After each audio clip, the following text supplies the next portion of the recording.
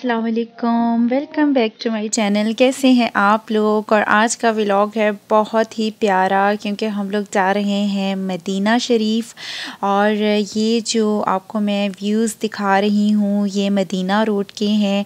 और ये क्यूट से मंकीज़ आके हमारी कार पे बैठ गए थे और उतर ही नहीं रहे थे। बड़ी मुश्किल से हमने इनको उतारा। और ये देखें जी, ये मदीना की पहाड़ियाँ खूबसूरत खूबसूरत से पहाड़ और इतने ये पुराने पहाड़ पहाड़ हैं। आप वीडियो में तो देख ही रहे हैं और यहाँ पर अल्हम्दुलिल्लाह हम लोग बिल्कुल करीब थे मदीना के और ये हम लोग पहुँच गए हैं मस्जिद कुबा और जब भी मदीना में एंटर होते हैं तो सबसे पहले मस्जिद कुबा में हम लोग ज़रूर रुकते हैं, नफल अदा करते हैं और यहाँ पर हमें मिल गई थी नमाज़ असर की और यहाँ पर हम लोग नमाज़ अदा कर रहे हैं और इसके बाद हम लोगों ने जाना था डायरेक्टली अपने रूम में। लेकिन अनफॉर्चुनेटली यहाँ पर भी बच्चों को उन्होंने अंदर जाने नहीं दिया। मक्का से मदीना का रास्ता है तकरीबन four four and half hour का और बिल्कुल पता नहीं चला क्योंकि सुबह फजर की नमाज़ पढ़ के निकले थे। और माशाल्लाह से सफ़र बहुत अच्छा हो गया। यहाँ पे आप रूम देखें और जो होटल का नाम है वो भी मैं आप लोगों के साथ शेयर कर देती हूँ। बहुत अच्छा होटल था और यहाँ की जो सबसे अच्छी बात है वो ये थी कि भी आपको कार पार्किंग का कोई मसला नहीं। मैंने वहाँ पर काफ़ी गाड़ियों को लॉक लगाते हुए देखा।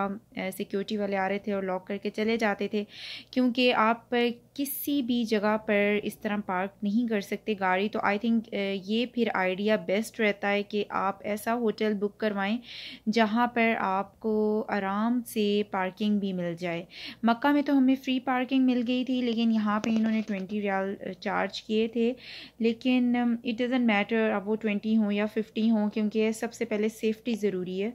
विंडो से व्यू देखें जी, कितना प्यारा लग रहा है और माशाल्लाह से जो मदीना की रौनकें हैं, अल्लाह ताला उनको हमेशा कायम रखें और बहुत अच्छा लगता है जब मदीना शरीफ भी आते हैं एक खूबसूरत सा एहसास होता है और ऐसे लगता है कि आप दुनिया से बिल्कुल अलग हो गए हैं, आप दुनिया से कट गए हैं। अच्छा यहाँ पर आप हमारा फंदक देख लें और मैंने थोड़ा सा बाहर से ना इसको शूट कर लिया था क्योंकि बहुत अच्छा था होटल और हमने बोला था कि आपको अच्छा रिव्यू दें। देंगे तो इसलिए मैंने जल्दी से उसका नाम भी आप लोगों के साथ शेयर कर दिया कि हमने कहाँ स्टे किया था। और यहाँ पर देखिए, माशाल्लाह से कितना खूबसूरत व्यू लग रहा है और यहाँ से मैं लाइव भी आई थी उस दिन। और आप लोगों ने काफ़ी इन्जॉय किया था बहुत ज़्यादा आप लोग मुझे अप्रिशिएट भी कर रहे थे कि आ, आपने बहुत अच्छा किया लाइव आके और हमें लाइव जो है मौका मिल गया देखने का सब कुछ। अच्छा यहाँ पर ना तीन चार बड़े बड़े ट्रक्स भी आए हुए थे और फिर वो बाद में जितने भी यहाँ पे पिलग्रिम्स हैं और विज़िटर्स हैं उनको फिर ये लोग बॉक्सेस देते हैं जिसमें कुछ खजूरें सैंडविच और साथ में वाटर बॉटल्स वगैरह होती हैं। और ये व्यू आप आप देख रहे हैं मगरिब के टाइम का, मगरिब के टाइम पे जो हमारे होटल की बैक साइड थी, वहाँ से हम लोग आ रहे हैं और बिल्कुल प्लेन सा मैदान बना हुआ था, जल्दी जल्दी वॉक करके आना था। वहाँ पर तो बिल्कुल रश नहीं होता था, लेकिन जैसे ही मस्जिद में एंटर हो रहे थे तो वहाँ पर ठीक ठाक रश है। देखिए आप।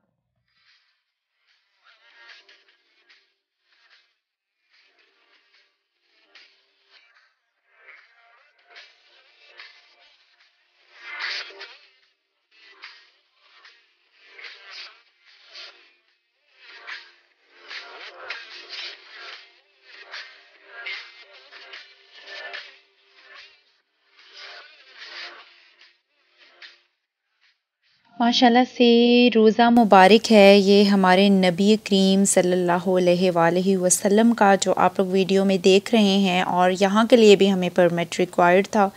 और जिसमें मैं बहुत ज़्यादा डिसहार्ट हुई। मुझे बहुत ज़्यादा गुस्सा भी आया क्योंकि यहाँ पर हमारे पास परमिट सेवन से पहले नहीं था। मींस के हमने फ्राइडे को ही वापस निकलना था और हमें संडे का परमिट मिल रहा था, जो कि ऑब्वियसली मुश्किल था। हम लोग इतने दिन स्टे नहीं कर सकते थे। तो खैर, वहाँ पे सिक्योरिटी मेंबर ने हमें बोला कि आप ले लें अपॉइंटमेंट ट्राई कर लें। और ये जो आपको क्यों नज़र आ रही है ना इसी क्यू में मैं खड़ी हो गई और आप देख रहे हैं कि कितनी लंबी क्यू है। और जब मैं एंड तक पहुँची तो वहाँ से मुझे जो वहाँ पे सिक्योरिटी वाली थी, उसने मुझे अंदर नहीं जाने दिया। उसने मुझे बोला कि आज डेट देखिए और आप कौन सी डेट पर आके यहाँ पर खड़ी हैं तो आप अंदर नहीं जा सकती। बहुत ज़्यादा अफसोस हुआ मुझे। और काफ़ी मूड ख़राब हो गया। लेकिन अल्हम्दुलिल्लाह मेरे हस्बैंड ने ज़्यारत कर ली थी, वो अंदर चले गए थे और माशाल्लाह से मेरे लिए अंदर से वीडियो भी बना कर ले आए थे। वो मैं आप लोगों के साथ जब एल वी करूँगी ना, उसमें शेयर करूँगी। आप लोगों ने मेरे साथ रहना है तो मैं इन आपको हजूर पाक सल्लल्लाहु अलैहि वसल्लम का रोज़ा मुबारक दिखाऊँगी।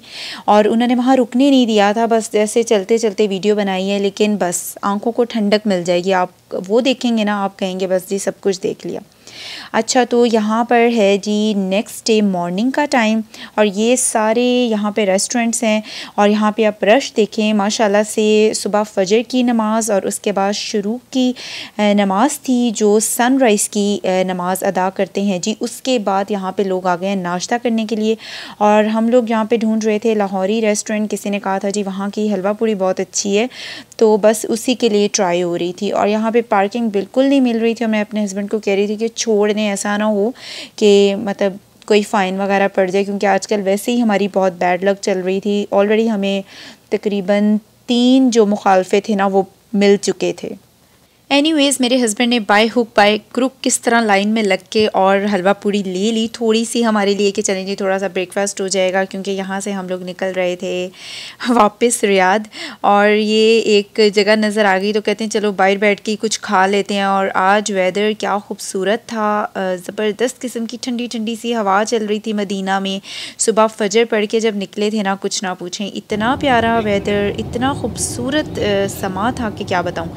अच्छा जी, ये ये आपको जो पहाड़ नज़र आ रहा है ना, इसको देखते देखते, ये देखा था अभी आपने कैमरा गुजरा था? वीडियो में किसी को नज़र आया, अभी कैमरा गुजरा तो इस पहाड़ का मैं बता रही हूँ कि मुझे इतना स्केरी लगता है और मैंने स्पेशल इसकी वीडियो बनाई आप लोगों के साथ शेयर करने के लिए कि ये वाला पहाड़ मैं बचपन से देखते आ रही हूँ।